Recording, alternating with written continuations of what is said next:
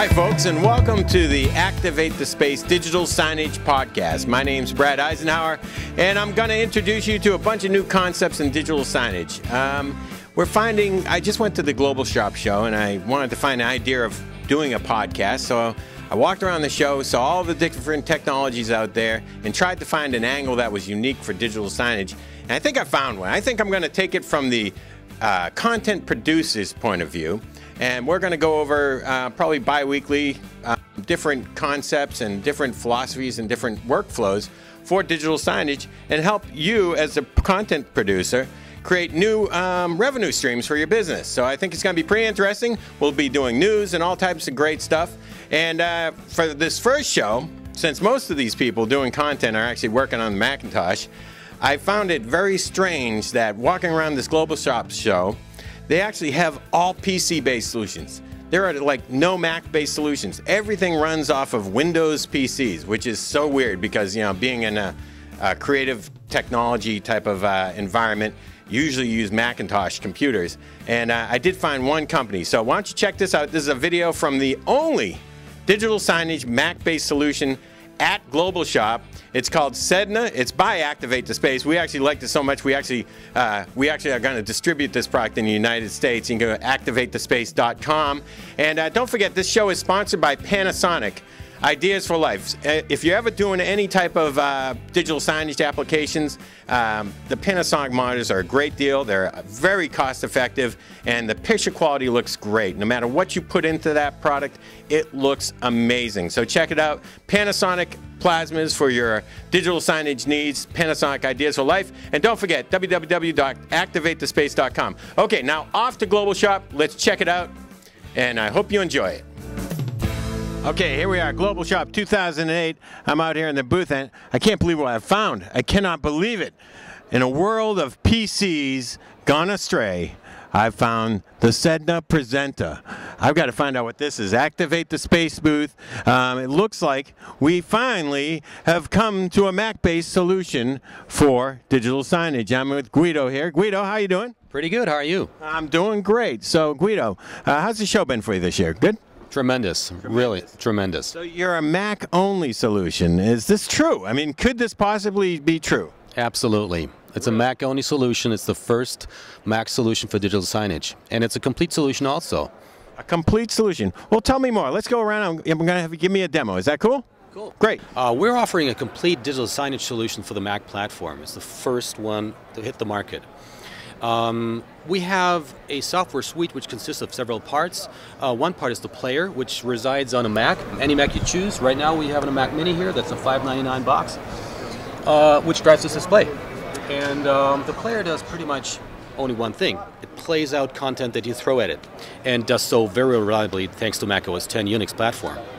The second part that we have in our software suite is a uh, graphical user interface of putting together um, your content and schedules and playing them out to the displays. So we figured we need a very simple interface for that, and we came up with a solution that we call the iTunes for Displays. Uh, check, check it out, take a look at it. So what we have here um, is a very simple and slick interface. It gives you your assets, your playlists, the schedule, and a calendar when you want to schedule things. So the way you work with it is very easy and intuitive too. Um, let's say I have some content on my on my hard drive sitting here. Let's say I want to have that. Double click it to open up QuickTime Player to get a preview. Okay, so here's an HD uh, clip that I want to get into my system. So I'm just using that by drag and drop. It imports it and automatically uploads it to the Mac Mini I just showed you before. Now if I want to use that, I'm just going to create a new playlist for you. I'm going to call it Brad. All right, so Brad's playlist will be populated with my new content. And that's it. Now I can hit play, and if I hit play, it will be playing back on the display up there. Hey, there it is. Wow, that seemed pretty simple. Yeah, so uh, maybe I want to add, add, add, a text scroll on the bottom, right? Yep. So let me do that real quick.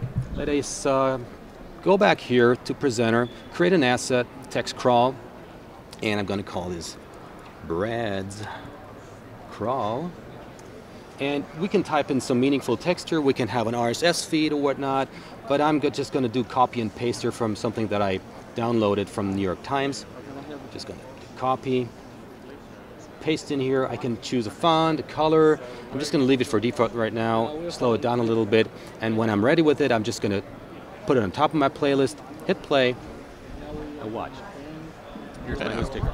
Cool. So we got a news ticker, and that can link to any information on the internet. Definitely. You can just pull down any RSS feed. You just go to your Safari web browser, hit copy and paste in the um, in the field, and uh, just put it into your um, into your asset directory.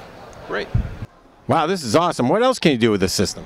Well, we can have full interactive uh, activity with uh, iPhone, for instance. I have my iPhone here. We uh, put together a little application for it and I'm firing it up right now and I have a button control here. So I might want to have a lower third uh, interaction up there so if I hit my button 3 it will come in, activate the space. Yeah, I can just uh, do some sales. If I, if I want to have an item on sale I'm just going to hit that button and there we go. Here comes the sale. Alright, and I can do other things like corporate messages. It's really easy to use. I mean, you just create a playlist, and you invoke it by the push of a button. So how would a retailer utilize a feature like that? Oh, a salesperson could walk up to a screen and uh, he might have some, you know, very hot information for the customer just come in, and he can just pull out his phone, at the click of a button, just change the picture on the display. That's awesome, man. Thank you. Love it. Great. Anything else?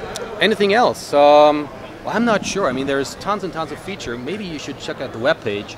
You can. Yeah, where, we, where are you located? Uh, we're located in Germany. Yep. And we're partnering with Activate the Space here.